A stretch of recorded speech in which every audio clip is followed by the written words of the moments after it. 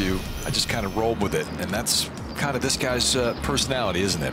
Absolutely, and that's that is what at the end of his round I said. I mean, you saw his demeanor never changed, his his movements didn't change, this pace of the way he walked and, played stayed exactly the same. So he knew he was in the zone, and he just stayed right in it all day. Birdies at 11 and 13 early in the morning after beginning his day on the, the backside, and then another one here at 14.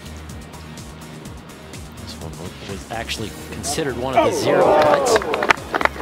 And by the way, he lipped out at 10 and 12, the only two holes of the first six that he didn't birdie. So this could have been a crazy low round today. Absolutely, and he uh, uh, parred the par 5 17th, or no, 16th. Mm-hmm. And then this at 17. I mean, off the green, pops it up in the air. A little bit of luck there. That thing was picking up steam going down the hill, but you don't shoot 62 without a couple lucky breaks here and again. And 30 on his opening nine after that one went down at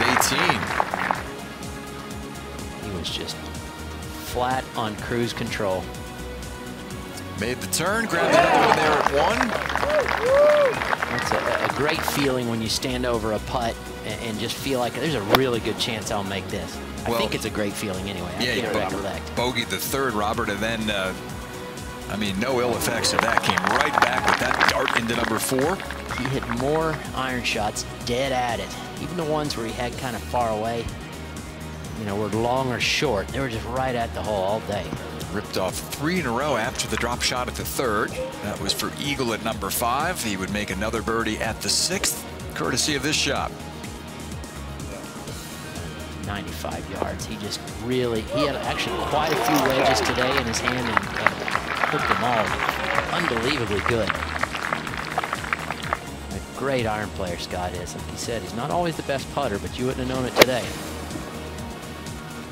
this into the eighth after his second drop shot of the day at seven. And it was actually getting tricky. The greens started off firm. They started to get a little softer in the day, so controlling that spin and knowing what to do was tough, but he just was absolutely dialed in. He tapped that one in for another birdie. Why not just go ahead and finish off with one more in the last? 62 for Scott Piercy, 12th birdie of the day, bringing him the course record here at Silverado.